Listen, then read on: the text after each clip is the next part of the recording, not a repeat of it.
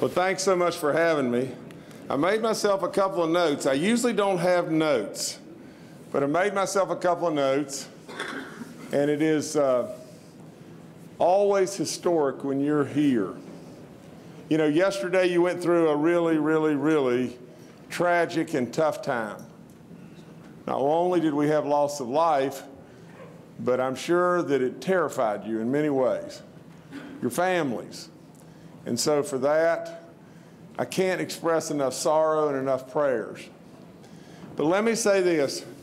Unfortunately and fortunately in this world, we have to move on. That's what we do. We move on. The only shot that really seems to always matter is the next shot. And so that's what we do. Now, let me tell you from the bottom of my heart, I welcome you to West Virginia.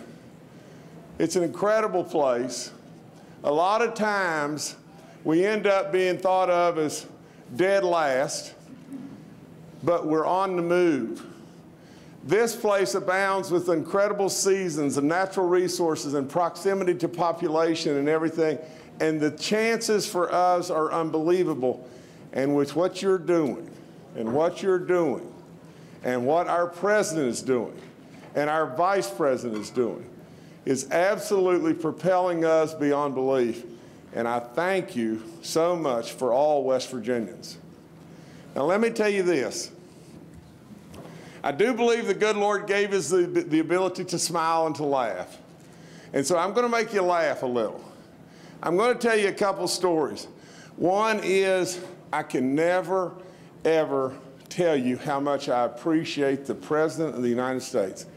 He just called me. He's a personal friend. He just called me. We talked 20 minutes with me sitting out here in the parking lot. Now, and we talked about everything under the sun. Now, but just think about this just for a second.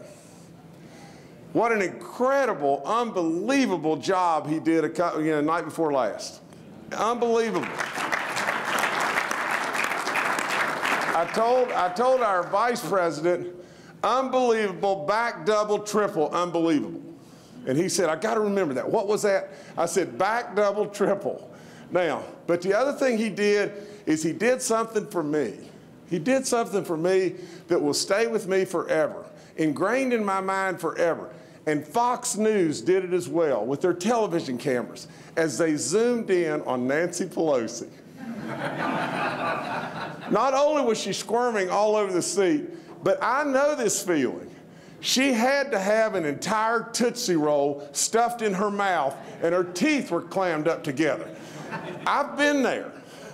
But nevertheless, it was a beautiful, beautiful moment for me. now, I know our president wants everybody in our country to love him. But I would say to our president, Donald, note to self, that woman does not like you.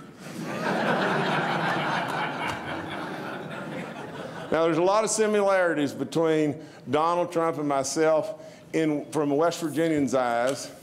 And I wrote them down real quick, but we, we're new to politics. We're both businessmen. We both have some wealth. He has a lot. I have a little, teeny bit.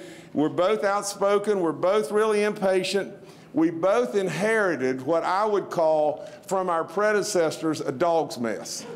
Now, you and he have turned it around and you're going somewhere.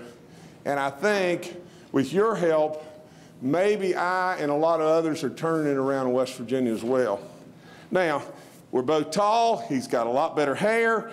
You know, we both have great kids and wives. We ran for the right reason. We don't want anything for ourselves. And by the way, his son, Don Jr., my son, Jim Jr., both born on January 1st. So, a lot of similarities, at least a few, but, uh, but he's doing great work. I'll end by saying this real quickly. I love you for all you're doing. You have given us so much. You've given us tax relief. You've given us so many different things that you're taking on the challenges that are unbelievable. But you've given us one thing that is unbelievable, and that is hope. You've turned the nation around with hope. Now, Ronald Reagan gave us a lot of things, But in my opinion, the number one gift that he gave us is he made Americans feel better about being Americans. Now, I'll leave you with this. Now, I've been away from the Greenbrier, not completely, but my daughter's running it and I've been a little bit away. But you may wonder what's it like to own the Greenbrier?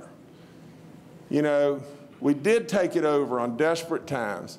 My son walked around and would say, Dad, you bought this thing for $20.1 million? There's more artwork here than $20.1 million.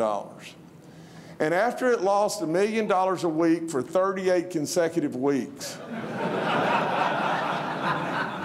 he walked around and he would say, I'm telling you one thing, this place sucks.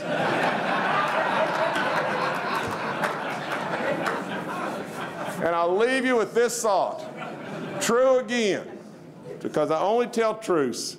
True again, I'm standing getting a paper six months after I bought the Greenbrier, and right in front of me is the perfect image, the perfect image of the Greenbrier.